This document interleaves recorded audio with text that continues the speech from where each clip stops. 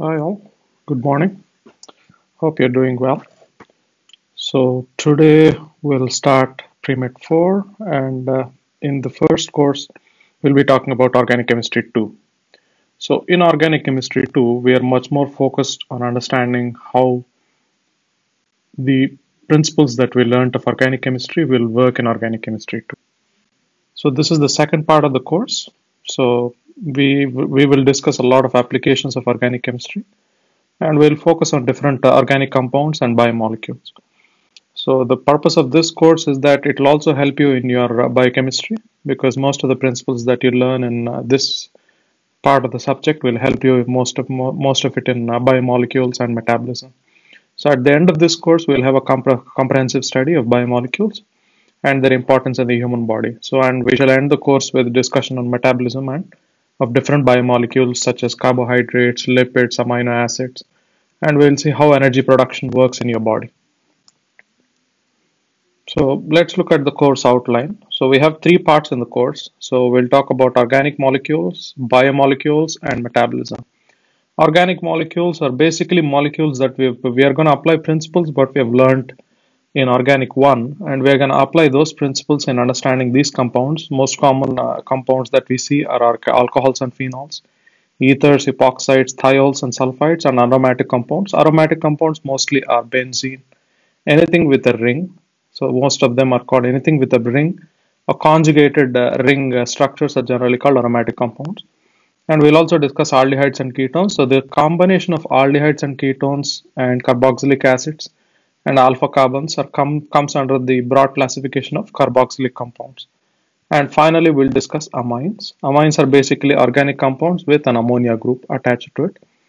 So, and in part two, we'll discuss carbohydrates, we'll discuss lipids, and we'll discuss amino acids and proteins. We'll discuss how to apply protein structure to enzymes and vitamins.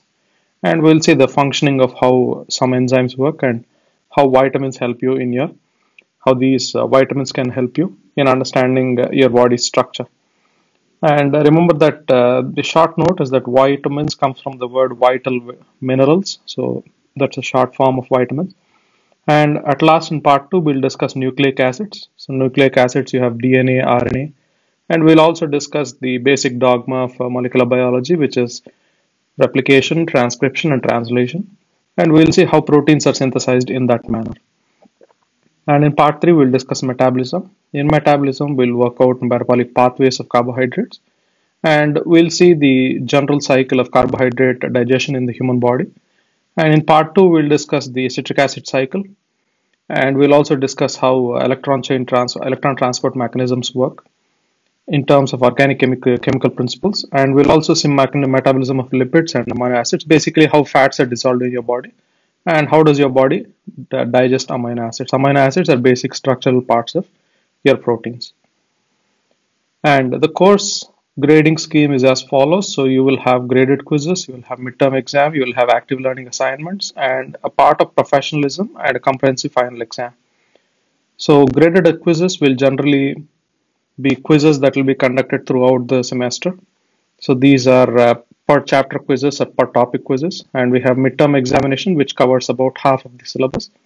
And we'll see active learning assignments which contain about 20% so this is basically lab assessment and you will do most of these lab assessments on your own and you'll be submitting the files. And finally professionalism. Professionalism is a count of how good are you attending the classes and how good are you completing the assignments given in a particular amount of time and how active are you in asking questions. So all of these are graded on a scale. So you can go through the syllabus copy and you'll find most of the uh, scales that we use to calculate the professionalism score. And finally, the comprehensive final exam, which contains all of the syllabus, and uh, that would be about 35%. So the total adds up to about 100%. So these are the two textbooks that I refer. For part one of the course, which includes organic molecules, we use uh, David Klein's Organic Chemistry, third edition. And for part two and part three, use uh, General and Organic Bio Biological Chemistry by Karen C. Timberlake. And both the both the textbooks, I have uploaded the PDF files on Canvas, and you can find it under the resource module in Can on Canvas. And I'll be conducting a doubt clearing session every Monday from 10 a.m. to 12 p.m. So if you have anything in the middle during the week, you can contact me at any time so that we can have an impromptu session. But make sure that you clearly exhaust all the resources that you have and ask your friends and then come back to me. And this session, generally the doubt clearance session will be conducted using Google Meet due to the pandemic. And I will be sending a meeting link prior to the sessions to attend.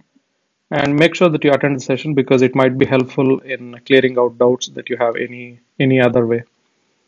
And we will have proctoring as well. So all the quizzes that are being conducted will be proctored. So most quizzes will be done every Tuesday. And I will be informing you the, every quiz prior to the week I conducted so proctoring will be done through Google Meet so you already know the procedure so I do not need to mention it already and anything that's non-proctored will not be counted towards the final grade. So you have active learning assignments. So I will be sending out files. These might be questions. These might be uh, writing assignments. So you might have to use, if it's a writing assignment, you might have to use a scanner app on your phone and uh, upload it as a PDF file. I'll be sending out instructions for each assignment separately so that you can use that instructions to uh, write it down and send it to me. So if you have any more doubts or any more if you need any more information please contact me using my email thank you